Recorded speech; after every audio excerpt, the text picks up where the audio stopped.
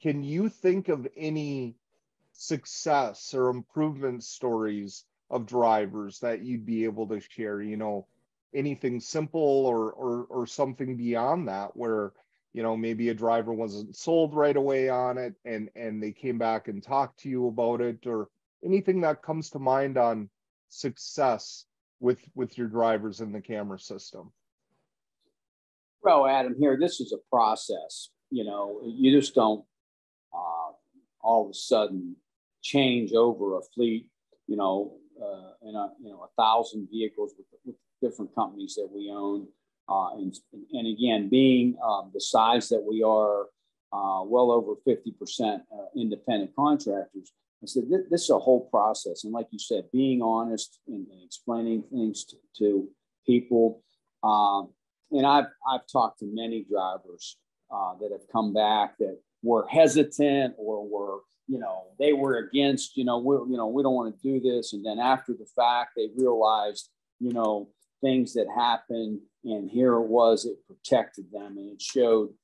And like you said, even the little things, it's not just an accident. It's, it's about the, this lady that gets irate because she doesn't understand that, that, that this truck and trailer have to get over and it takes them you know they can't just get over in a second like you can in a, in a four-wheel car you know or an right. suv so, so when and you know, like you say they'll call and they'll you know we'll get a, a message uh, you know on our corporate hotline at night you know and i'll follow up the next day and i'll pull the video and and we'll watch the video and say, well, our guy didn't do anything wrong. And, you know, we'll call the person back and say, hey, look, we'll share the video with you. We'll sh- show you.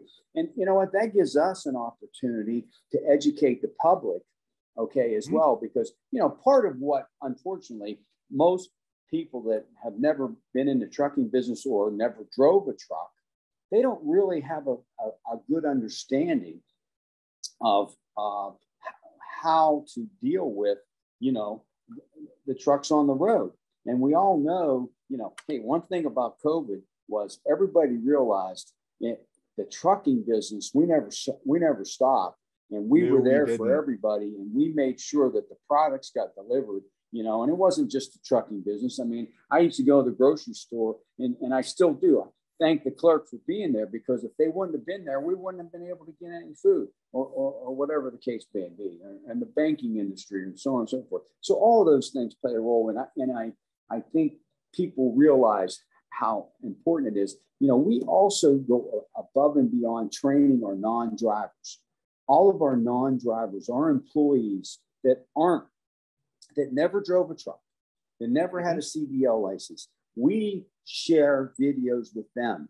We share training with them so they understand what our drivers go through. And also, more importantly, so they understand how to respect that truck and trailer on the roadway. And we also tell them share this with your kids, share this with your cousins, share this with your brothers and sisters. Because again, what's it all about?